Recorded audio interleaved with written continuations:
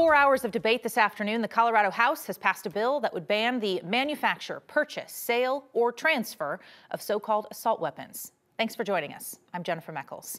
It defines the term to include 50 caliber rifles or a semi-automatic firearm with a detachable magazine and a modification like a pistol grip or a muzzle brake. Originally, a violation was punishable by a huge quarter million dollar fine. Then it was made a petty criminal offense. Now it's been changed back to a fine but a far smaller one, $750. This bill now moves on to the state Senate.